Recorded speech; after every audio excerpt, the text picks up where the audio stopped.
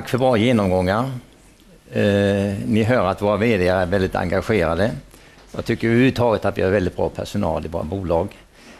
Eh, ni kommer att på bolagsstämmorna höra då kanske att de ägarrepresentanter som finns kommer att uttala ett tack till, eh, till personalen inom bolagen. Men jag kan göra det här redan nu att eh, det fungerar väldigt bra. Vi är väldigt nöjda med eh, insatser under det gångna året.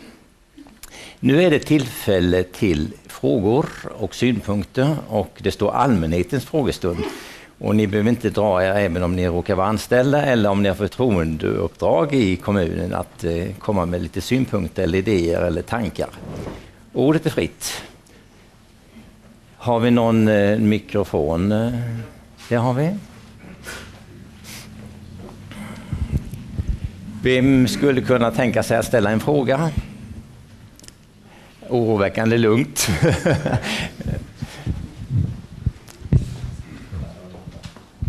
Jag heter Per...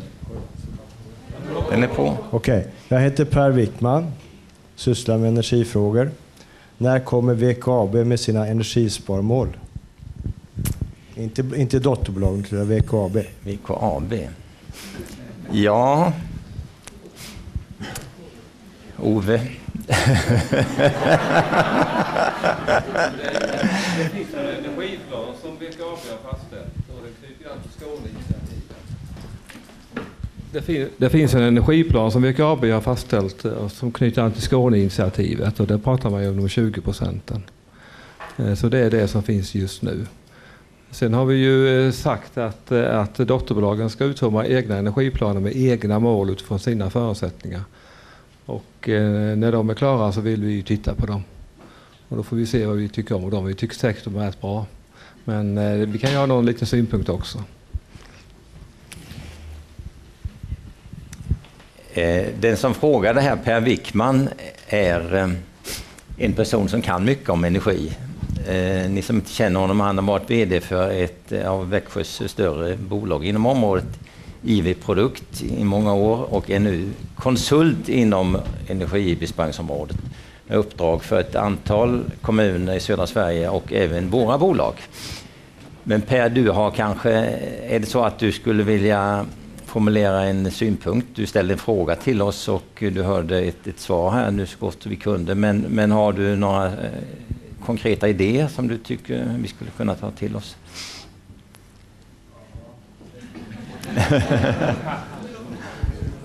Ska jag utveckla detta? Det är inte jag som ska prata här egentligen. Men jag har en idé. Det är ju liksom det här att man är ju då eh, Växjö grönaste stad inom EU. Men jag tycker man ska samverka där vid lag. Alltså både med industri och privat fastighetsägare och även transporter. För jag känner det liksom som när jag varit ute då bland eh, kommuner, jag, de flesta då är Blekinge och Småland här så har vi tappat lite fart. Och jag tycker vi ska samlas därvidlag och ta med alltså industrin då, som är en stor energislukare och även privata fastighetsägare och även transporter att jobba mot ett gemensamt mål. Det har vi pratat om lite du och jag. Du kan väl göra reklam för den förening som eh, våra bolag är med i, som du själv Goda sitter med i styrelsen. Ja. Jaha, ska jag prata ännu mer? Nej, det är så här att eh, Goda hus är ju... Vi, idén var att vi skulle alltså sponsra en energiprofessor på Linnéuniversitetet. Och eh, det gjorde vi också, så där finns nu 26 stycken sponsorer som betalar halva hans lön. Den energiprofessor som nu är anställd. Och Meningen är att vi ska alltså ha projekt då som eh, framförallt inom befintlig bebyggelse spar energi. Vi ska lära av varandra och där är Blekinge och Kronobergs läns ska säga, entreprenörer, konsulter, fastighetsägare med. 26 stycken. Och det rullar på bra. Okej, okay. mm. tack ska du ha. Det var ytterligare någon, Elsa ja, Jönsson. Fått, ja, Elsa Jönsson, jag är lekmannarevisor i VKAB. Men jag skulle vilja ställa en fråga till Vefab. Du sa så här att på den här nya förskolan så skulle man göra miljön så att personalen skulle inte få så mycket hörselskador. Och då undrar jag så här att eh, hörselskador gäller även lärare på grundskolan och gymnasieskolan. Vad gör ni för att göra samma miljö på Arabyskolan, Fagerbäcksskolan och kanske Norrgårdsskolan och Teknikum och Kungsmad? Därför det är ett erkänt problem att vi blir hörselskadade. Jag är en sån. Jättetacksam att du frågar, för det är ju en eh, jätteviktig fråga och det är någonting som vi i samarbete med våra hyresgäster kan arbeta fram lösningar för just innemiljön och ljuddämpning. Eh, och vi har inga hyresgäster som är emot det, men det kostar lite att titta på det. Och det arbetar vi ständigt för att få en, um, ut, säga, en utvecklad innemiljö och även på ljudsidan. Min vits var alltså att det är inte bara små barn, utan det är alla elever. Ja, absolut. Hela skolmiljön och alla lokaler som uh, har hög ljudnivå. Mm.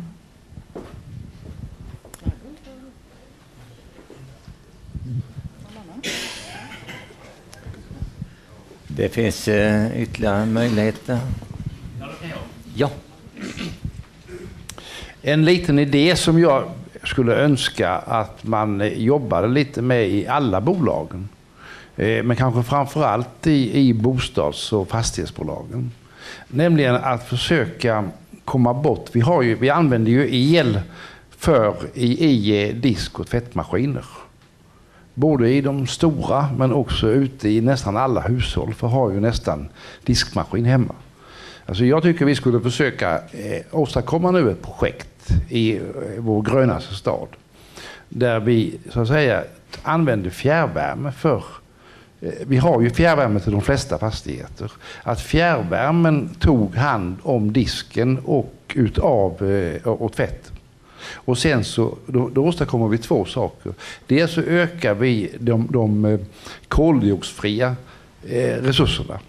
Men dessutom så ökar vi också förutsättningarna för att producera mer el som är förnyelsebar. Jag, jag, jag, jag tar tillfället i akt att säga, sända denna frågeställning ut till samtliga bolag i vår koncern.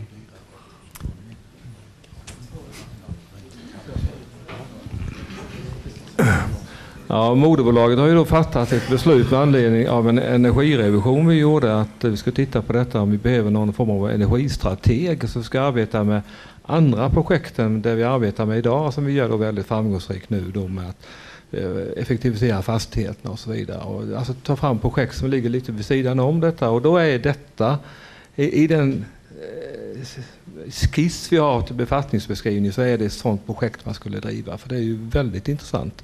Och eh, elen är ju dessutom mycket dyrare än fjärrvärmen så det är liksom är, båda parter kan eh, möjligtvis tjäna på detta. Va? Ja, precis. Så det tycker jag är en utmärkt idé. Någon från bostadsbolagen som vill eh, kommentera? Per, jag kan då komplettera när vi pratar energifrågor. Torktumlarna finns ju som värmepumpar.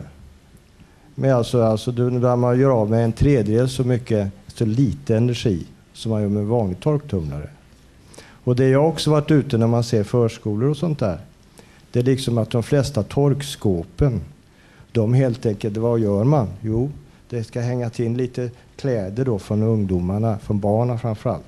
Man vrider på, på den där, full effekt. Om du tänker på en tvättmaskin, där har man alltså den hygrostat, alltså fuktstyrd, så den stannar när helt enkelt tvätten är torr.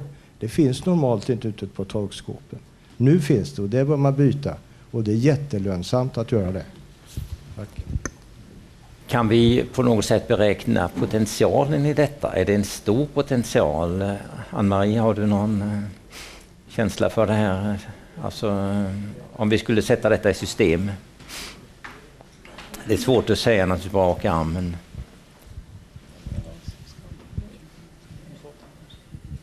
Ja, det var en, det var en svår fråga. Det är ju som alltid när man vill utveckla och eh, när det gäller miljöfrågor att det är naturligtvis också en kostnadsfråga. Men visst är det en potential, framför allt när det i alla fall ska göras ett utbyte eller vid nybyggnationer. Eh, vi själva har byggt om vårt, eh, vårt, eh, vår kafeteria, matsal, där vi då har diskmaskinerna på, som går på fjärrvärme. Men det här är en fråga, då, ett förslag, konkret förslag, en idé. Den kommer säkert att på något sätt leva vidare här, Karl-Olof. Vi pratade för, jag tror det var två år sedan på de bolagsstämmorna om vindkraft och det är ju ett aktuellt område. Vi, vi har Värmby här som brukar göra reklam för vindkraften och sen har vi då hyresbostäder som har haft projekt på gång och som fortfarande kanske har det. Eh, jag vet inte om Kenneth, eh, hur är, det, hur är frågan idag? Är den aktuell för hyresbostäder? Det är den. Vi håller på att ta fram ett förfrågningsuppdrag och räknar med under försommaren kanske kunna... Vi håller på att ta fram ett förfrågningsunderlag för att göra en upphandling av vindkraft och då är det ett verk som täcker minst hälften av vår totala förbrukning. 50 till 70 procent av vår förbrukning ska det täcka. Okay. Lennart Wernby.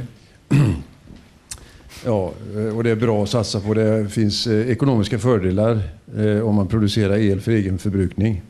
Och det är många fastighetsbolag som gör andra företag också. Men ett väldigt intressant jätteprojekt som berör hela Sydostsverige. Det heter Blekinge Offshore och där planerar man 500 vindkraftverk utanför Sölvesborg, Karlshamn i vattnet, havet. Eh, och det är Eolus Vind har tillsammans med den ursprungliga entreprenören bildat ett bolag som heter Blekinge Offshore. I december månad så gick den svenska tunga basindustrin in med 10 procent och option på ytterligare satsningar. Och eh, jag lobbar alltså nu för det som vindkraftssamordnare därför att de 500 verken plus minus lite grann motsvarar alltså Barsebäck som vi stängde för några år sedan. Och det skulle betyda ett enormt tillskott i södra Sverige och jag har tipsat Bixia som vi delägare om detta projekt. För att det är alltså en gigantisk framtida investering. Enda problemet just nu det är att Försvarsmakten har marina övningsområden plus Kallinge, flygplatsen, den militära. De ska flyga rakt ut där på 20 meters höjd, säger de. Och då går det inte. Men det pågår alltså ett arbete och i och med att den svenska basindustrin är inblandad, de tjänar alltså på detta. Ytterligare ett argument är att i, från och med i höst så kommer vi att tillhöra... Eh, Sverige delas upp i fyra prisområden vad det gäller el. Och vi kommer tillhöra samma område som Köpenhamn. Det betyder för oss konsumenter ett snittpris som kommer att höjas. Man vet inte exakt hur mycket, men mellan 5 och 10 öre kan det bli frågan om.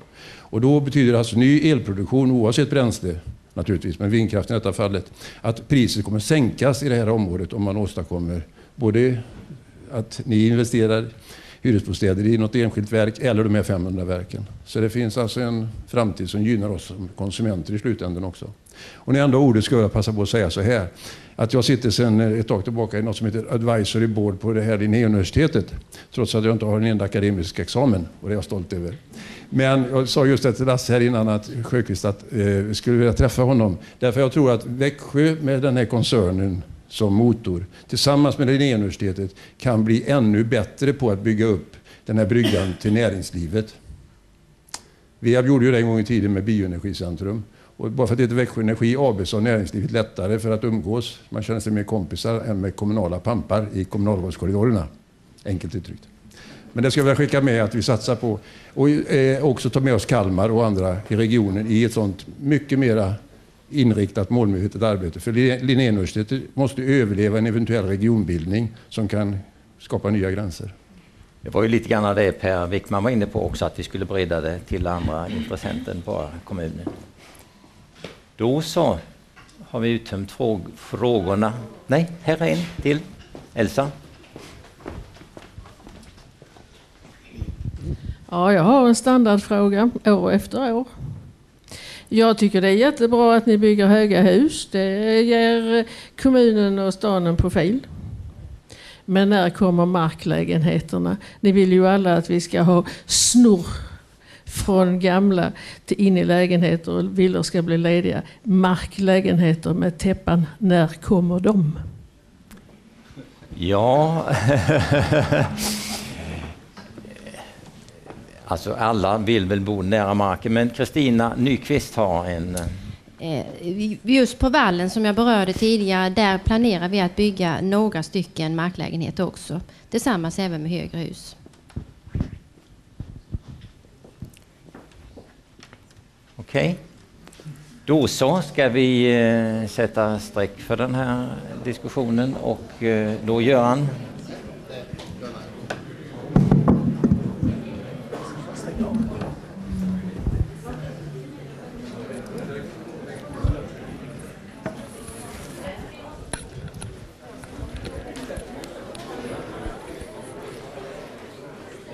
Då så.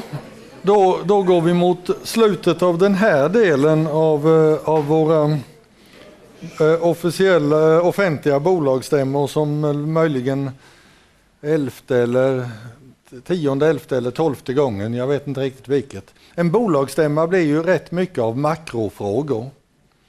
Vi har investerat si och så många miljoner, vi har byggt si och så många, vi har sålt så och så många. Så en bolagsstämma blir alltid väldigt mycket makrofrågor. Och lite grann har man också berört mikrofrågorna. Och de facto är det ju så att hela vårt arbete handlar ju om mikrofrågorna. Det handlar ju om de enskilda medborgarna i kommunen.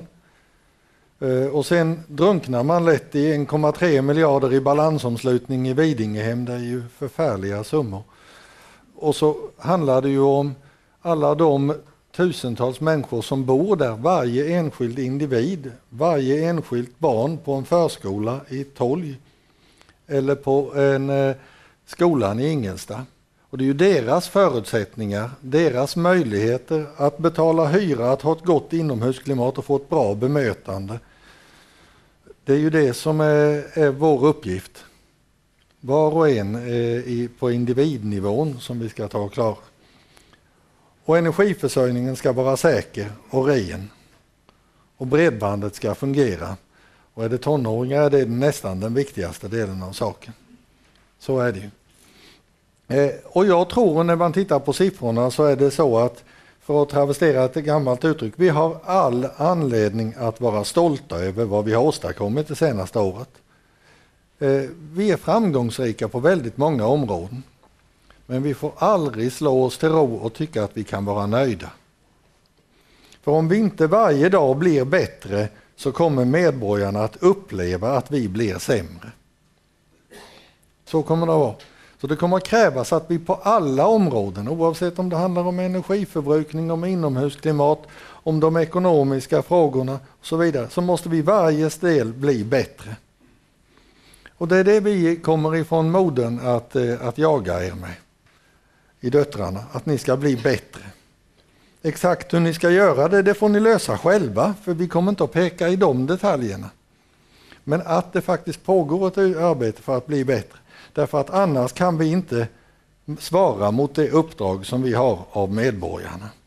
Och det är ju så nämligen att nästan alla medborgare i kommunen är ju berörda av den här koncernens verksamhet. Om man inte bor hos oss så går man kanske i skola hos oss eller spelar eh, badminton i någon av våra idrottshallar eller simmar i simhallen och så vidare. Nästan eller eh, har bredband via Växnet eller får fjärrvärme via, via VEAB. Nästan alla medborgare är på något sätt ganska väsentligt för sin livsföring beroende av att vi lyckas. Så, och då måste vi alltid bli bättre. Nu ska jag se om jag kommer ihåg att säga det jag skulle säga också och då, och då skulle jag säga att det blir en, en enklare förtäring, dock något mer omfattande än kaffe. Och den blir om man går ner och så går man bortåt mot restaurangen och strax innan man kommer fram till restaurangen så ska det vara uppdukat åt oss. Det var rätt Göran? Ja. Och sen ska jag säga att därefter vid om 40 minuter drygt så är det dags för bolagsstämmorna. Och då ligger alla bolagsstämmorna så att man går liksom bort så förbi foajén eller entrén till gamla badhuset här. Och så ser man att det står en skylt där borta på dörren som man ska gå en trappa ner.